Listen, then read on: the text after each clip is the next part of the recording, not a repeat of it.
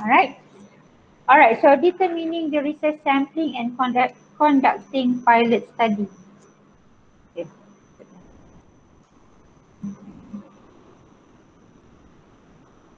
Okay.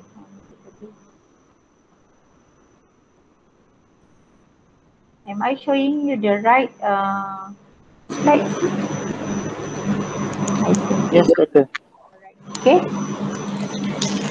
Uh, maybe some of you do not are not do not plan to do uh, field work tapi still lah kan? You have to get exposed with this and you know maybe in future after your master's or your PhD want to do field work. So at least uh, maybe by that time you you already forgotten what we discussed today but at least you're familiar with some of the terms for uh, sampling yeah Okay, so uh, you can look at this chart and you find that sampling methods can be divided into two. Two bigger uh, methods. Yeah? One is called, sorry, sorry. One is called probability sampling methods. Eh? Another one is called non-probability sampling methods. Okay, don't get confused because uh, different authors may give you kind of different chart. You know and the items in the chart may also differ. Uh, but most importantly what uh, remain the same is uh, the nucleus. Uh, in the well not so much the nucleus the type of sampling method only probability and non-probability. Okay?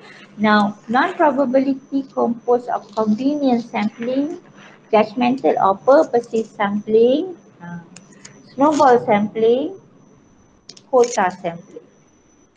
And these uh, probability, uh, random sampling, uh, I mean looking from the name also you can gauge okay? simple random sampling just like you know pick up whoever you think can answer but that depends on the title of the research. Normally simple random sampling ni for marketing purpose lah kan? Macam you go to the supermarket kan? Ha and then tapi yang tu the purpose of it to sell. Anyway sama lah juga actually yeah. so for example you will say okay take this. This is very new. This is brand and we have promo. And then you pun okay lah you can taste. And then you say hmm, okay lah I buy one most of the time kan kesian kan ha, so this is simple random sampling method. So you tak ada, you do not have specific idea lah. I mean, if you want to, to think about the, you want to like um, conceptualize kan how uh, the, cho- the choices of sample uh, can be made, you can think like this kalau you know probability simple random sampling. So you know that this manner um, you do you everybody has the chance. That's why it is called probability. Everybody has the chance to be the respondent. You have not zoomed to any particular you know uh, respondent. Okay? Can you follow? Okay cluster sampling systematic sampling and certified random certified random sampling is one of the most used um, sampling method. Okay. I mean, uh, before I forgot also what sampling means. Sampling means your respondent. Yeah, your respondent. Okay, so you can see just now there are certain items which is uh, not in the chart, uh, but so that's why I decided to what you call that to include the two um, charts uh, this one and the other one. So you are familiar with um, you are familiar with the term. And for example here under probability you have simple random sampling you have systematic random sampling you have stratified random sampling cluster random sampling eh? Multistik ada S multistik, multistik. Eh, eh. multistik uh, uh, sampling method. And then non probability. Non probability it means that uh, um, there is no equal chances lah for everyone. Why? Because you decide your sample. And say for example, you want to interview the officer from religious department. Uh, kan? And then uh, anybody lah uh, that is uh, intended. So that is called purposive lah. So basically there is no probability about them being your uh, that there is no probability ah yeah there is no probability they they will become your respondent. Maksudnya it means that they will surely it's not probable kind of uh, thing to accept them as your respondent. It's it's kind of a must to have them. This is what non-probability uh, when I first studied sampling, I also got so mixed up because non-probable is supposedly uh, very fair and easy lah kan, very wide kan, open. Ha, tapi actually tak. Non-probability is that when you have certain target in your uh, research and or target group in your research, a certain sample in your research. Okay, let me think. Alamak, susah lah. Okay. Right, never mind lah. If I want to go to, okay. Hmm. I think we will discuss uh, the sample to one by one. Okay, uh, for the kind of definition of uh, sampling lah kan. Uh, probability sampling.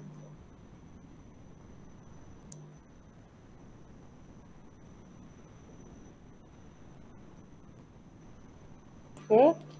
Probability sampling is a sampling technique in which the subjects of the population get an equal opportunity to be selected as a representative sample.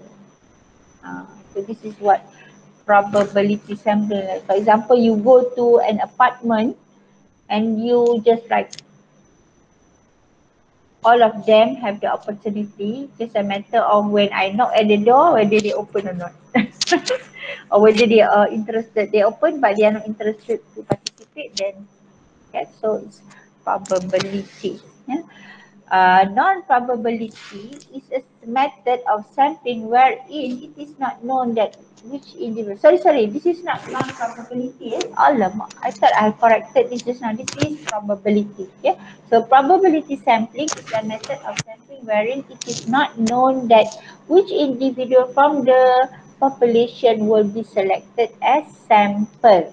So probability ni you do not know because you know probable probable uh, everybody is uh, every man in that apartment is your potential kind of sample yeah okay non-probability sampling is a sampling technique where the odds of any me- member being selected for example cannot be calculated In addition, probability sampling involves random selection, while non-probability sampling does not. Uh, does not take random sampling. It relies on the subjective judgment of the researcher.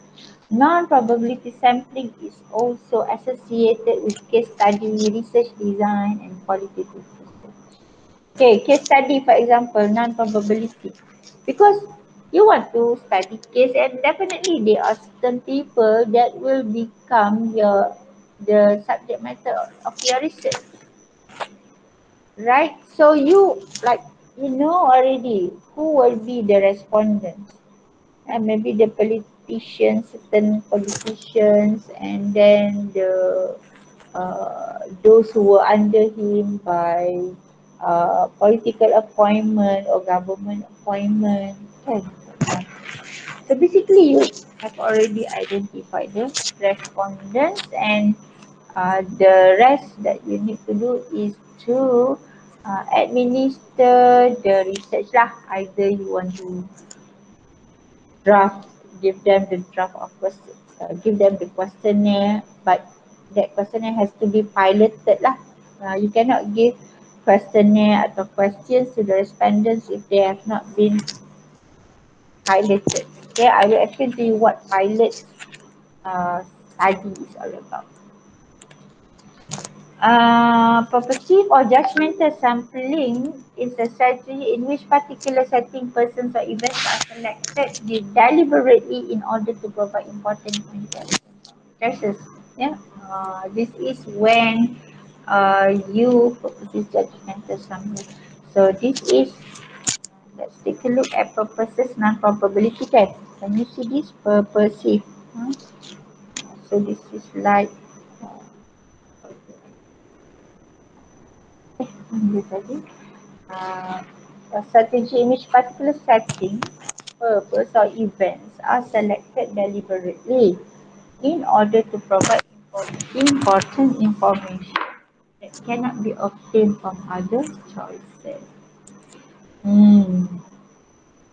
To provide information that cannot be, yalah. So you have to take those uh, items as your respondent, those items ke people ke uh, committee ke kan? Because if you ask somebody else then uh, these people then you may not be able to get the first hand data. Now determining the sample size. Ah. So sample size are the two uh, random and non-random. Right uh, okay.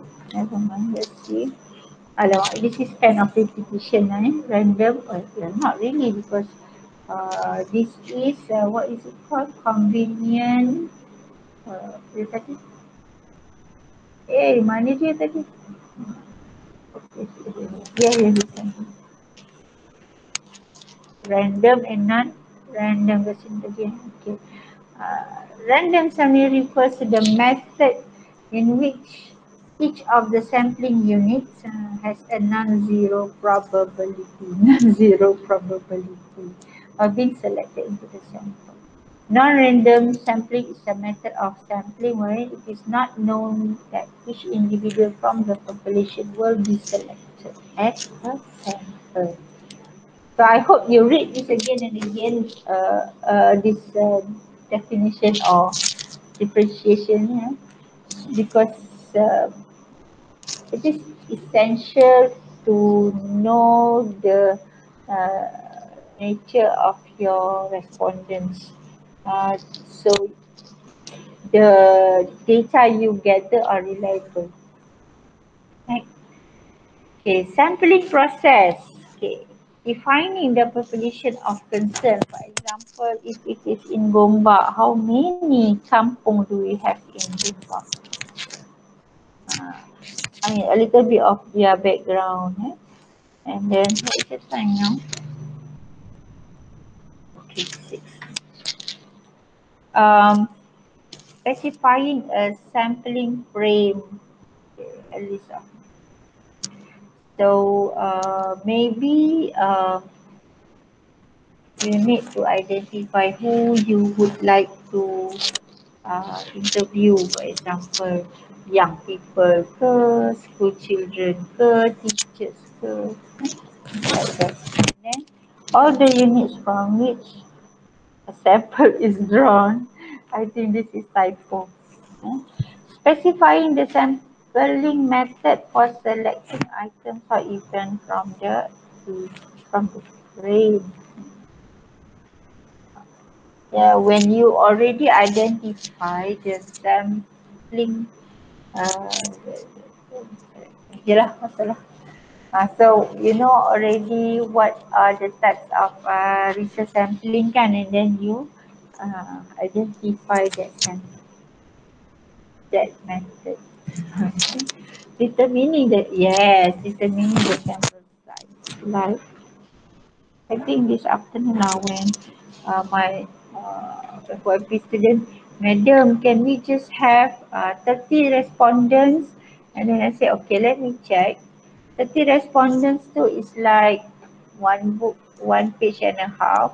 is this your original work or and then say well this is not original work okay if it is uh, then um, you need to uh, gauge uh, the, the sample uh, you need to gauge the sample okay where will determine the sample size yeah mm, like uh, what I mean by original uh, well not really original work lah like mm, whether there have been any research before that does or did the same research except that maybe slightly different in terms of you know sub object and sub-question but then uh, you you see that or oh, that as that scholar write or did research on particular topic that is same with mine. Yeah. But uh, he has published there. Yeah. And uh, and you want like to benefit from uh, his sample. And so this is also kind of the meaning the sample size implementing the sampling plan yeah is included in the research design tadi kan yeah how do you plan your sample to be? Kalau it's homogeneous okay lah. Men, women, children, parents kan. But depends on the person. It depends on um, identify data which can be something in data collecting. Uh, you know, that is the next process. Identify data which can be selected. Need to look at the research question again whether those are reliable questions. Okay, now the rest of definition of sample, sample method, simple random sample. Actually, simple simple random sampling ni medium cepat. It's a subset of individuals chosen from a large set. Each individual is chosen randomly and entirely by chance and it is categorized as a probability set. So macam mana tu? Can you relate to me? How is this? Give an example. Uh, let's do some uh, some exercise at this point of time. Very tired. Eh? I feel like I'm shouting now. Lots of voice already. Um, uh, chosen from a larger set of, of population, sets of individuals each individual is chosen randomly entirely by chance. Yeah, like I said earlier, if you go to apartment, can you just like knock on the door and whoever lah kan. Simple random sampling. Systematic sampling is a statistical method involving the selections of elements from an ordered sampling frame.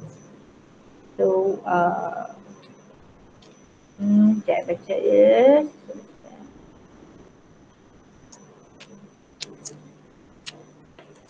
Okay, this is very good example. Supermarket wants to buy, to study buying habits of their customers. Then using systematic sampling, they can choose every 10 or 15 customers entering the supermarket and conduct the study. So collecting of data can also be done in this manner. Well, I am not sure if I will contact. Yeah, but this is only example lah. stratified random sampling. Okay. Stratified random sampling is a method of sampling from a population when subpopulations within, within an overall population vary. It is advantageous to sample each subpopulation uh, independently by stratifying, stratifying them. Stratification is the process of dividing members of the population into homogeneous or subgroups before sampling. Okay. So what are the examples of this one? Eh? Uh,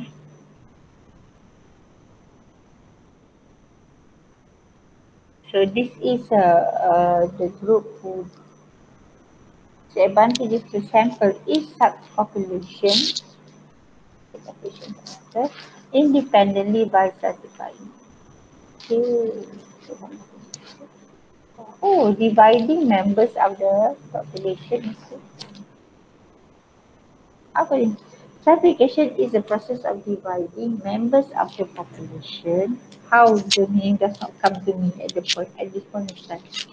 Um, so dividing members of the population into homogeneous subgroups before sampling. Wow, you really need to have a good number of sample. Hmm? Macam mana stratified? I pun dah lupa dah example. The population into homogeneous um, when I encounter an example, clear example, I mean, I have something in mind about stratified uh, random sampling, but I'm not sure whether this is exactly what stratified uh, sampling. Okay, and the last one, I think the last one is, yeah, adalah giga. Okay, so macam cluster sampling tadi kan. Uh, the population units belong to some natural group. For instance, okay, school, okay, natural uh, grouping of school children, kan?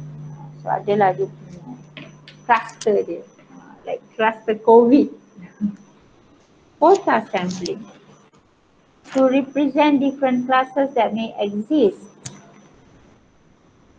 uh, in a given population. It is commonly used in public opinion or market the one that is uh, used by the supermarket. You know, uh, not big.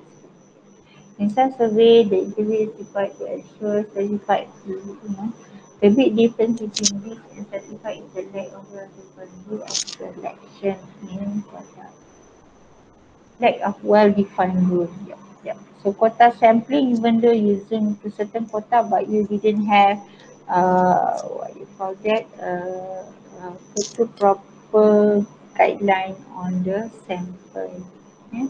Haphazard, uh, it's very random selection.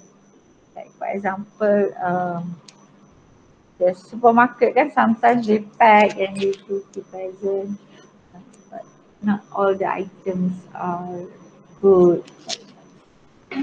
But anyway, it's the thought that comes. Okay, a good sample is the true representative of the population corresponding to its property.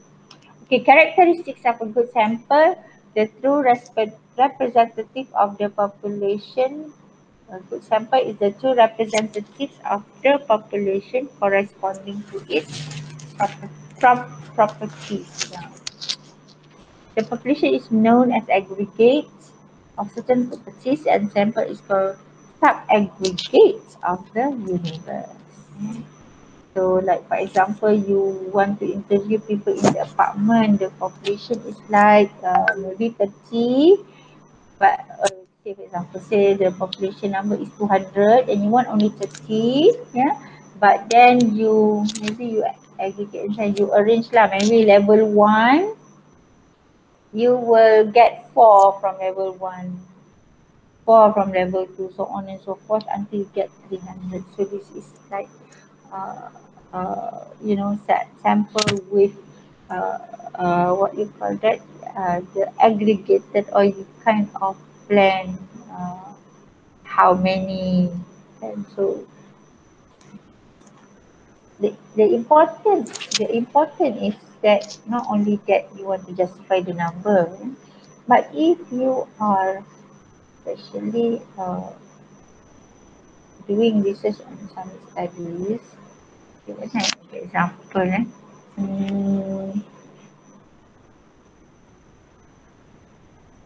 How do I give example? Hmm.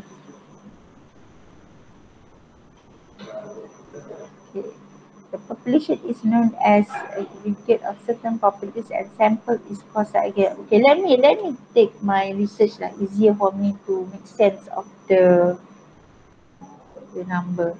So say for example, yeah, I think now I can remember. We want 600 from Kuala Lumpur, yeah, Kuala Lumpur. And then we divided Kuala Lumpur into the zone. and then uh, the respondents go to this zone and even narrow it down. yeah? Uh, so, I mean, that's kind of true representative of that population. Uh, I mean, in that zone. Yeah. Uh, so, you know, you cascade, cascade until you kind of get the core uh, number uh, that represent the population. Right? So that is good sample. Of course, good sample is free from bias. Yeah? So does not permit prejudices, the learning and preconception imaginations of the investigator to influence its choice.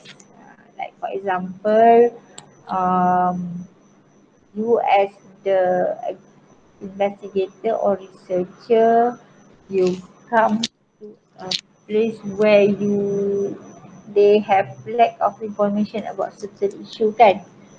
Mm-hmm. And then you um, uh, you kind of give them leading questions. Leading questions. What are leading questions? Muaz? Muaz? My son's friends are here already. So the leading question like for example the respondents will have to answer your question the way you want them. So this is bias and it's not good. Eh?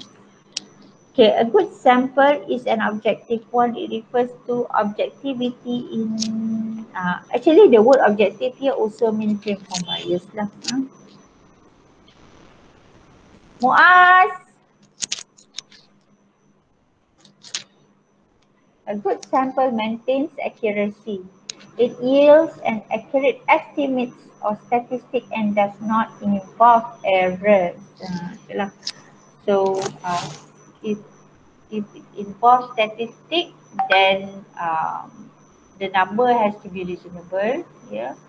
Um, and then of course accurate, but uh, when uh, like for example, if you are, uh, let me give example for qualitative. Okay. Accuracy in terms of uh, sample for qualitative study. Okay.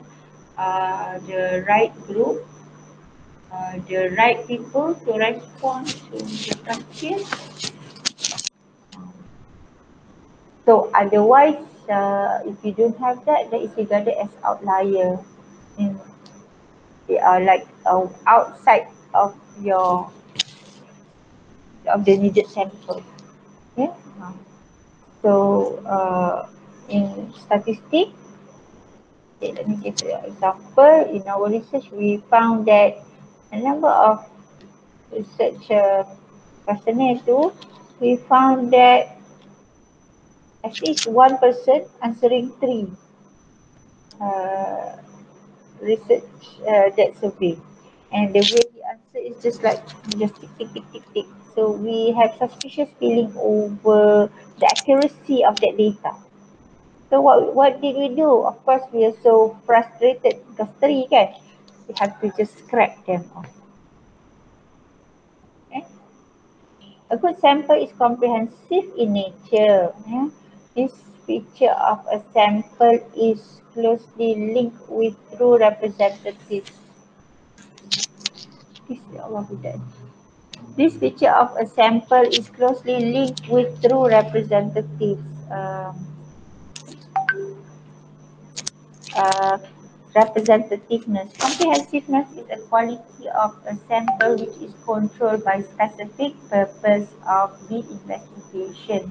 A sample may be comprehensive in traits but not be a good representative of the population. Yeah. Um, one of um, our problems in, sampling is uh, we didn't get too many how do I say, we didn't get too many liberals. Muaz, excuse me.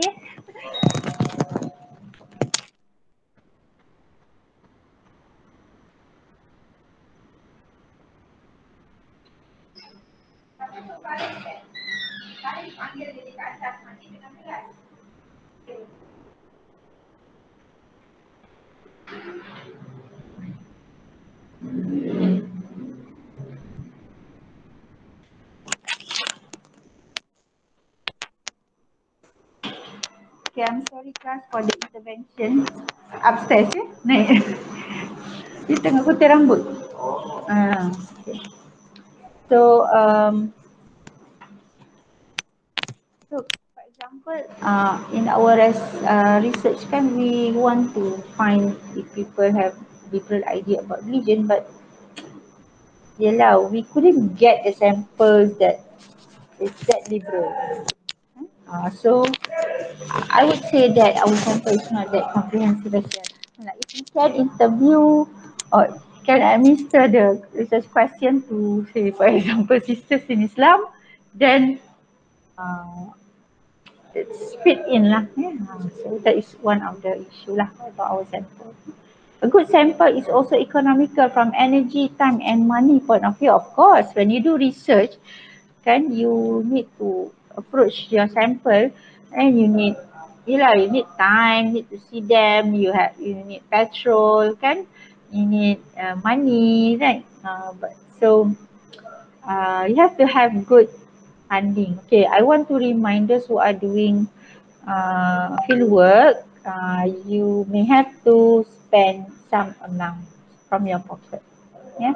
Except that now that we have uh, virtual, kan, if you conduct interview virtually, if the person has the has the connection lah, uh, so you are safe lah. And then uh, if you administer this uh, apa tu research questionnaire, then now also you have like Google form or something like that. Except that you'll find that I mean of course at one point you want the economical aspect of it right? But at another point you are torn I mean you are in dilemma because how reliable is the sample? Right? Um maybe he's not the one who answer it. Uh, something like that. So economical but you are in dilemma about the reliability or the accuracy of the sample. So subjects of good sample are easily approachable. Yeah. The research tools can be administered on them and data can be collected easily. Yeah. So uh, it means that uh, you can you can find them. Like for example, if you want to conduct a research, nak makan kat mana? Nak makan kat rumah. Bukan makan dengan dia orang. Kenapa tak geng? Allah Akbar. Okay. So, um, okay. So, for example, I give you example. If you want to write, uh, this happened in the last semester, uh, first semester before the semester, one student want to write about homosexual practices on campus. Ah, so I said to her, how you going to collect the data? Ada, uh, are you, is this, I mean, she, a sister kan is writing on this topic and then I said, how you going to collect the data? Will you be able to get the person who practice homosexuality? I said to, I asked them. And then I asked the sister and then the sister said, well, uh, can she can get the information from the doctor. So it's secondary, secondary material lah, secondary data, not not primary, not from the person her, himself. So I don't know, but she insisted that she wanted to do research on that issue. So I couldn't help, but I just assist in her in completing the research proposal but I do not know whether she took up that research or not. Yeah. Uh, um, all right. So uh, the size of good sample such that it yields an accurate result. The probability of error can be estimated. Uh, well, actually, uh, for statistics, yeah, for research questionnaire, I recently I encountered Dr. Osman Talib uh, discussion about why 30 is um, good, uh, is reasonable number or acceptable number, not reasonable lah, acceptable number to administer questionnaire. So for example, you want to do uh, quantitative research kan and you want you want to administer research questionnaire uh, questionnaire lah and you have you you target for 30 30 very little kan? But uh, in statistic 30 is acceptable number. Uh, 30 is acceptable number. Why is that? Uh, what is the justification for 30 actually there is there is reason why the 30 is acceptable because um okay Faris. Because um it, it was found, it's quite difficult also for me to communicate to you. It was found that after a number of uh, quantitative, re- quantitative research conducted, they found that by 30, uh, almost all research uh, showed the similar trend of answers from the respondents. Uh, and how do they uh, measure that? Of course, mathematics lah. Eh? Uh, because statistics, you know kan, a certain formulation. So by 30, I mean, uh, if you have 30, they found that every 30 respondents uh, will show the same trend in the answers.